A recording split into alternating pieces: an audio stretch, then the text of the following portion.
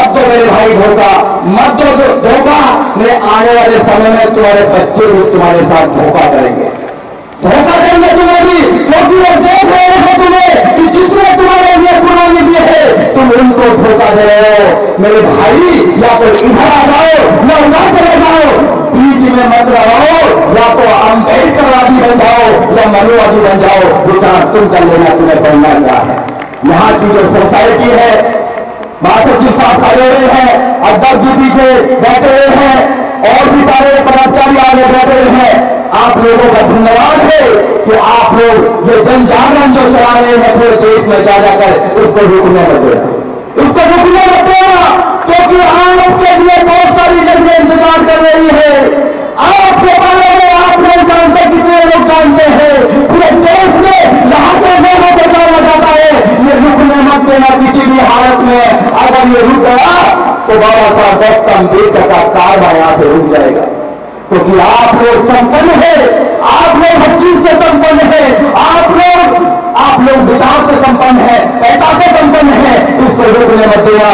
दिन के दिन, इसको आगे बढ़ाते रहना और छोटी मोटी जो कमियाँ हैं, भाइयों में हो जाती है अरे उनको दूर करो। क्योंकि मैं एक शेर के माध्यम से आपको बताना चाहता हूँ पानी कितना, रिश्ता कैसा भी हो, उसे कभी मत तोड़ना। रिश्ता कैसा भी हो, उसे कभी मत तोड़ना। पानी कितना भी गंदा हो, उसे कभी मत फेंकना। क्योंकि पानी अगर कितना भी गंदा होता है तो उसे मत फेंकना। क्योंकि पानी पीने के काम नहीं आता कम से कम आग बुझाने के काम तो आता ही आता नहीं अपना भाई अपना भाई होता है। लड़ाई की बात की बताइए। सारे मिलजुल के काम करो। मिलजुल के काम जितना अच्छा हो जाता है, उतना बढ़िया हो जाता है। साथियों, आज बाबा साहब की बात को याद करने का समय है कि मिलजुल कर बैठकर हम इस कारवा को आगे लेके जाना है। और नौजवानों को तैयार करना है। अगर एक बेटा है तो चिंता मत करना। पीछे कभी जी बैठे हुए हैं।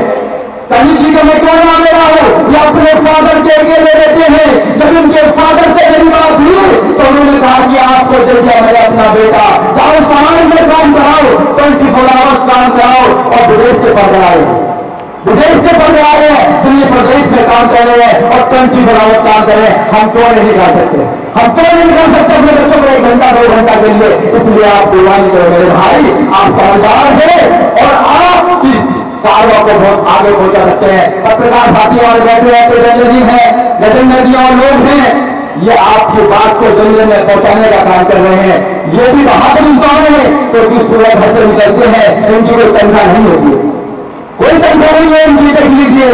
मगर अपने मोटरसाइकिल लेकर निकलते हैं, अपना, अपने मोबाइल से काम करते हैं, या कैमरा लेकर निकलते हैं और समाज की बातों को जंगल में पहुँचाने का काम करते हैं। कभी जी है कभी जी किराए पर रहते हैं।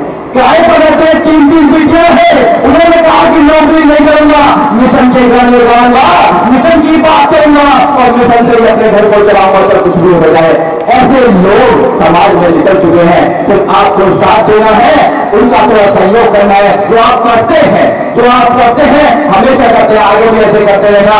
आपने मेरी बात को सुना। बहुत बहुत धन्यवाद, क्योंकि आपको भूख भी लग रही होगी। स्वाभाविक बात है तो मैं आपके बीच में, अपने बीच में भूख के बीच में ज़्यादा नहीं, आना देना चाहता हूँ। साथियों जय भीम जय भारत जय संविधान, जय